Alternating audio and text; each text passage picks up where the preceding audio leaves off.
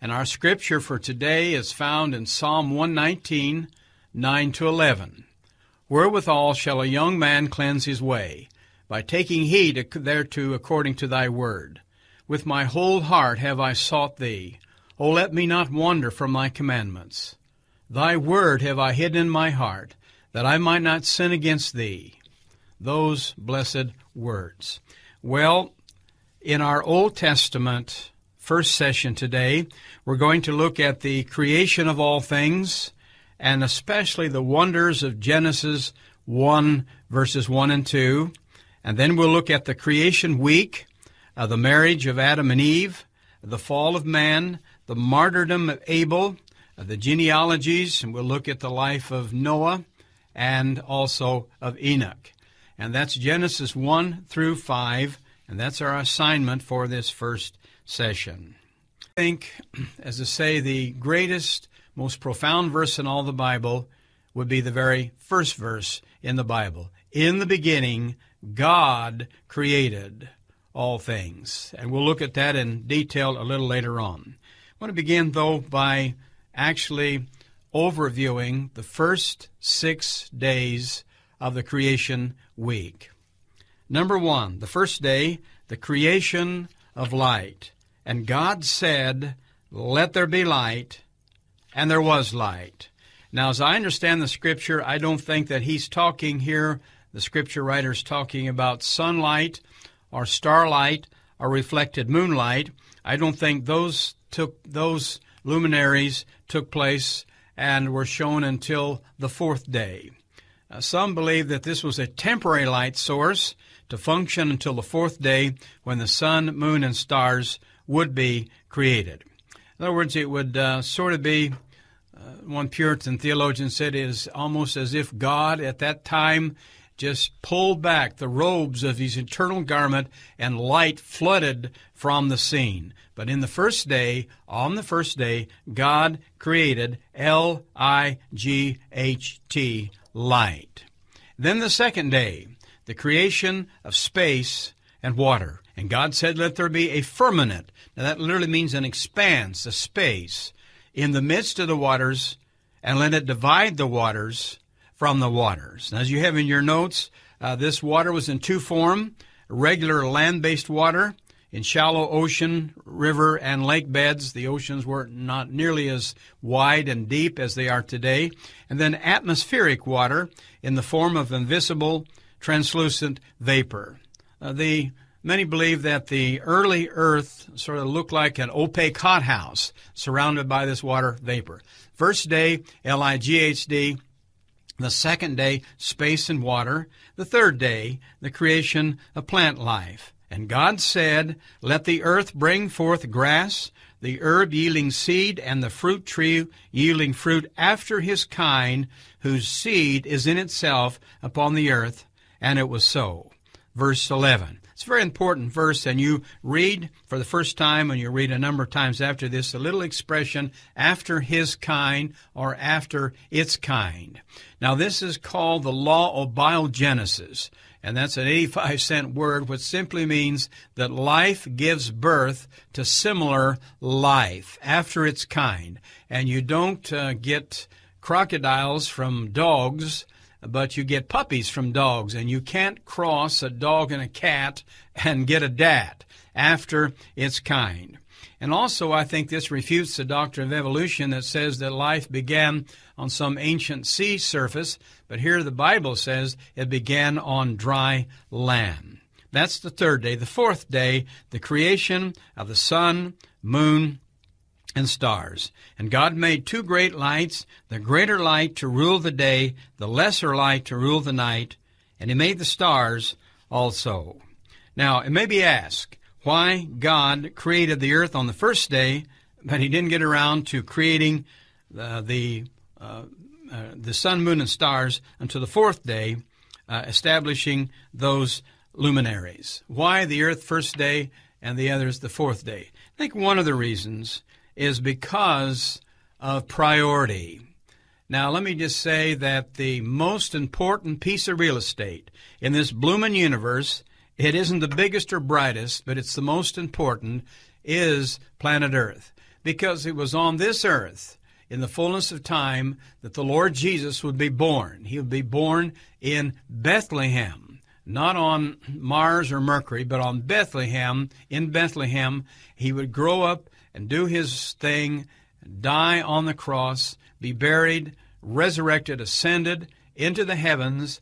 And rumor has it, folks, and it's not rumor at all, that he's coming again, not to Pluto or Mars or some far off star. He's coming again to planet Earth. So I think that's why God made the earth on the first day, did not get around to making the sun, moon, and stars until the fourth day.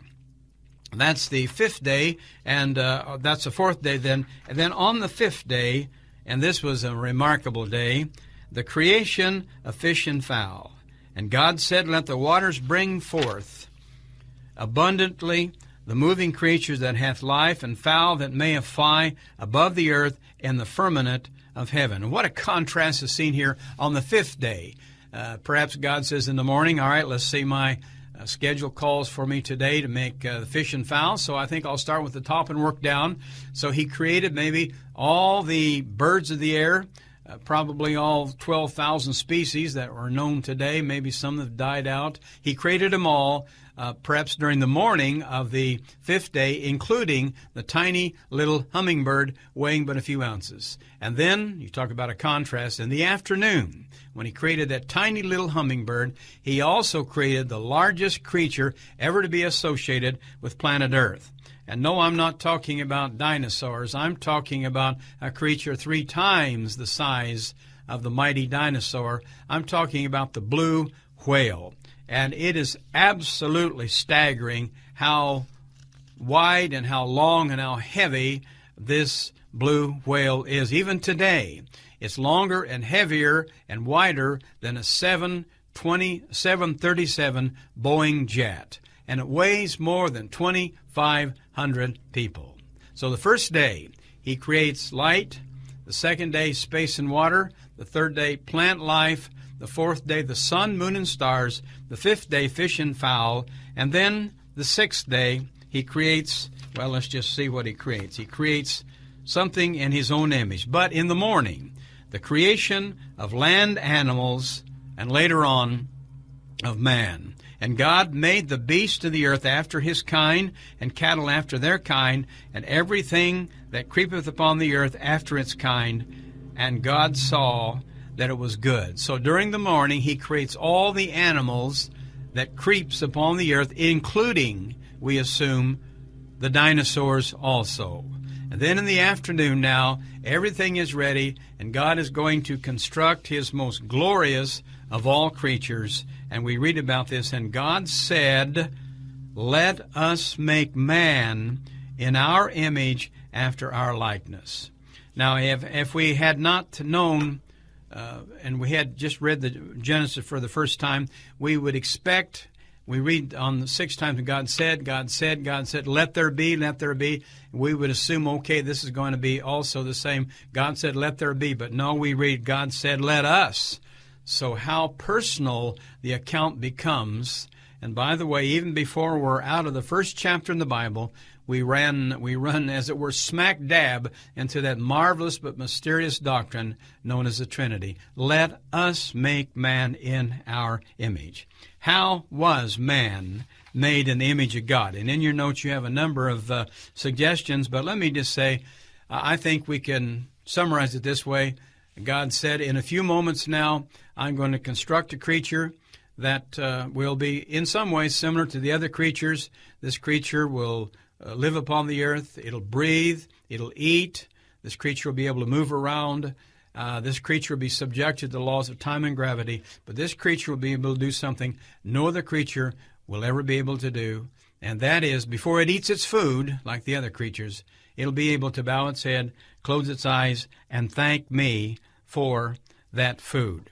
Uh, we think of the song here this creature will be able to sing this song that will be written so many days, so many years later. O Lord my God, when I in awesome wonder consider all the worlds thine hands have made, I see the stars, I hear the rolling thunder, thy power throughout the universe displayed. And when through the wood, woods and forest glades I wander, and hear the birds sing sweetly in the trees.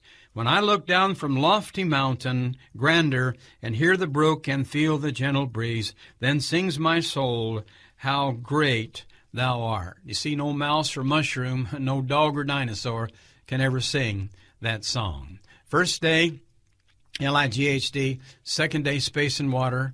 Third day, plant life. Fourth day, sun, moon, and stars. Fifth day, fish and fowl. Sixth day, animals, and then man himself.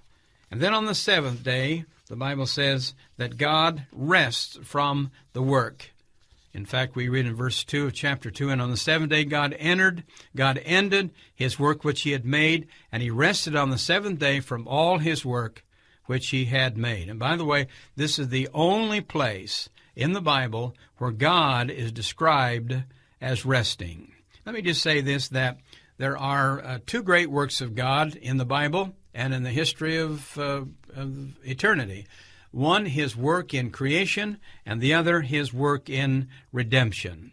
And here we hear of his work in creation. And the first two chapters give us that. But beginning in chapter 3, God rolls up his sleeves and he begins his second great work, that of redemption, and he's still working that work. But sin has not entered the picture, and so we see right now where God can rest and does rest at the end of the sixth day. Now he rests not because he's tired or because he's lazy. He works because he rests because his first great work, that of creation, is done. Well, so much about God's work schedule. And now, in the book of Genesis, chapter 2, God's wedding schedule. And the Lord God said, It is not good that the man should be alone. I will make a helpmeet uh, for him. And the Lord God caused a deep sleep to fall upon Adam, and he slept, and he took one of his ribs and closed up the flesh thereof. And the rib which the Lord God had taken from man made he a woman, and brought her unto the man, and Adam said, This is now bone of my bones and flesh of my flesh. She shall be called woman, because she was taken out of man. Therefore shall a man leave his father and mother, and shall cleave unto his wife, and they shall be one flesh.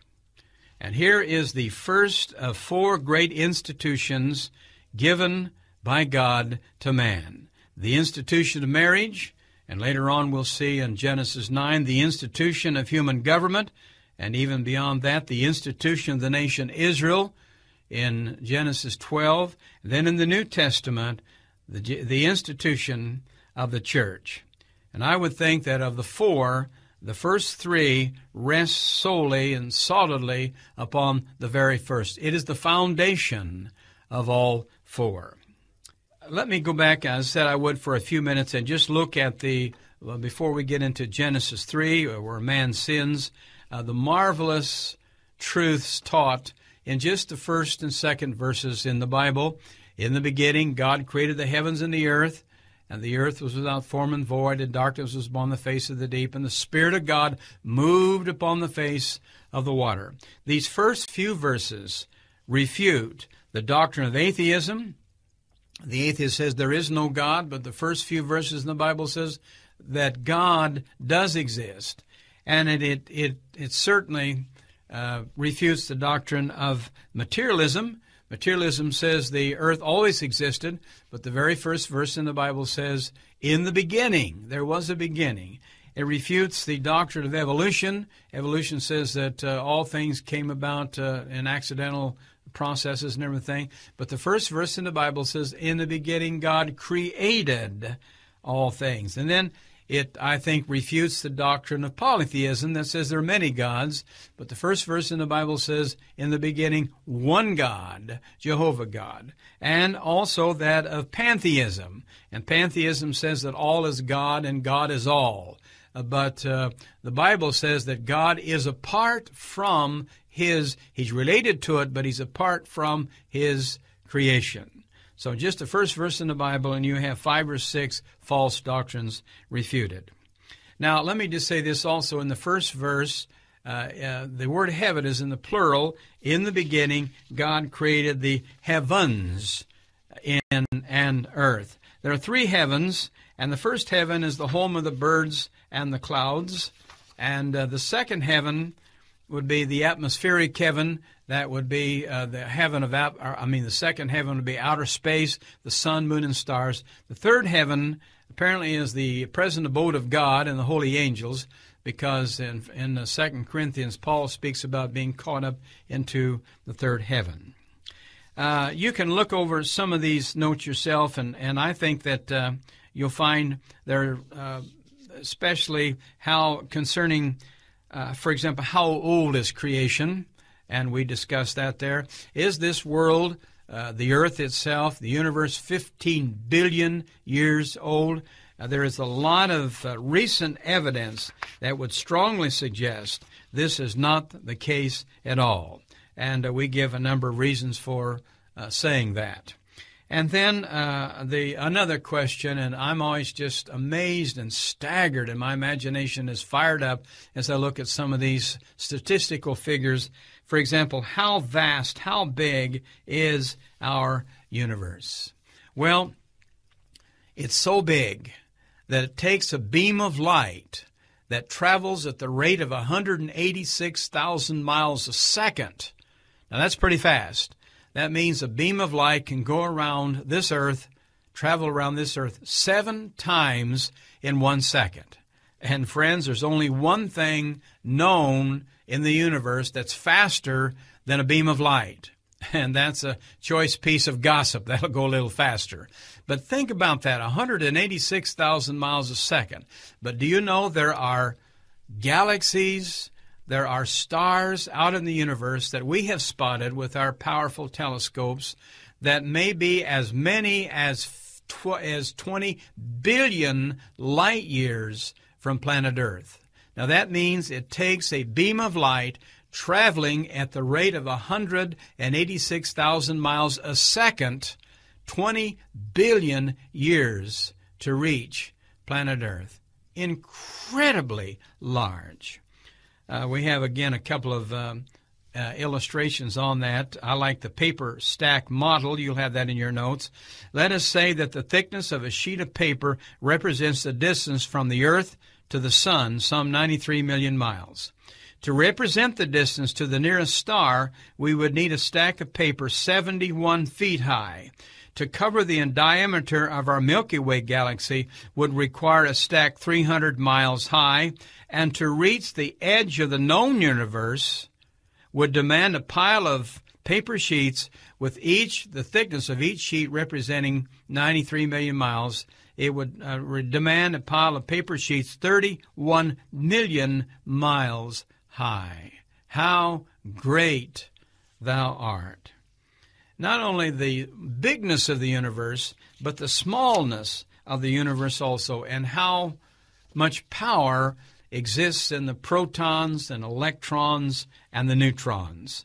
For example, German physicist Otto Gale has calculated that just a single drop of gasoline, if totally utilized, all the atoms in it and everything, in an automobile would be sufficient for 400 journeys around the world, a trip involving 10 million miles. Now, you talk about uh, uh, gas economy, that's incredible. And of course, the key thing is how complex our universe is. We'll discuss this later in other studies, but could life come about accidentally? And the answer is never in a trillion years. There are certain things mathematically that could not happen. And one is that life came about accidentally. Uh, you said, well, you give enough uh, time and anything can happen. Well, let me ask you just one question here without getting off on a rabbit trail. How long do you think in the history of uh, birthing, or a mother gives birth to a child, of, of babies coming on earth here, how long do you think before we will read an account where a baby gave birth to its mother? You think that'll happen in a day, in an hour? Do you think that'll happen in a trillion years? There are certain things impossible to happen. When will we discover? When will we be able to? Uh, will we able able be able to say that we have now determined on this occasion 2 plus 2 does not equal 4, but 14. It will never happen. How great thou art. Well, Genesis 1 and 2. Now, Genesis chapter 3 and 5, you had the creation of all things and now the corruption of all things. And Satan then comes upon the scene, and Satan is now going to tempt Eve into eating the tree of the knowledge of good and evil. Prior to this, God had said, you, of all the trees you can eat, the tree of life, etc., maybe from the tree of music, the tree of literature, the tree of art, but the one tree you cannot eat of is the tree of the knowledge of good and evil. And uh, she entered into a dialogue with uh, Satan, and Satan began by doubting the word of God. Hath God said?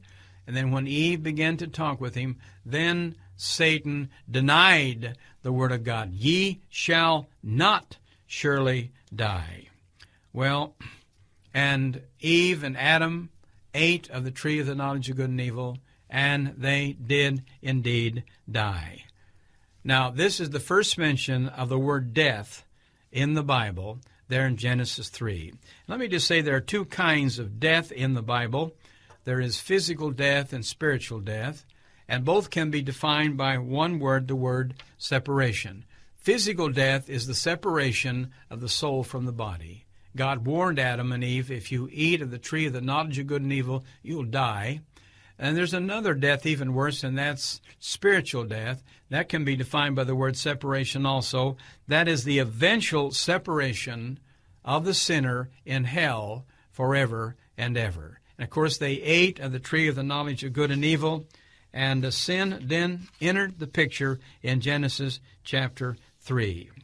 Well, uh, man tried to hide from God uh, by clothing himself in fig leaves, and the truth came out, though, and then God set up a portable court, as it were, in the Garden of Eden, and uh, he judged five parties. He judged the serpent, and then the devil, and then Eve, and Adam, and nature itself. But in Genesis chapter 3, verse 5, uh, verse 15, rather, you'll see this in your notes. This is called the proto evangel verse, first gospel mention that he predicted in that terrible hour that someday a woman would give birth to a baby boy that would eventually deliver fallen mankind from their sin and uh, knock the devil out of the ring, crush his miserable head. And that would happen, of course, on the cross many years later. Well, uh, as we end chapter 3, you have uh, Adam and Eve being dismissed from the garden. And then in chapter 4, you have the two boys, first two human beings being born on planet Earth. Adam and Eve weren't born, of course, they were created. Uh, Cain and Abel. And they get in a fight, at least Cain does, because God does not accept his bloodless offering and he kills his brother Abel. And you have the first liberal now who refuses to offer a blood sacrifice now becomes the first murderer. And as chapter 4 ends, a very sad chapter, Adam and Eve dig a shallow grave and they bury their son murdered by his own brother. But God gives them another son to take the place of the martyred Abel, and his name was Seth. In chapter 5, you have the genealogies uh, of Adam, and you read time and again, and it's sort of a first obituary column. And such and such uh, was born, grew up, got married, had children, and died. And you read that phrase, and they died, and they died, and they died. But one exception there was a boy named uh, Enoch, and he grew up, had a son, but in midlife, we do not read where he died, but Enoch was not, for God took him. So he is the first person to get out of this crazy life alive, and he goes to heaven without dying. And later on, of course, in the book of Second Kings, he'll be joined by another fellow who's translated that he might not see death, and his name was Elijah. And Genesis 5 ends with the birth of a baby boy that will become very famous by the name of Noah.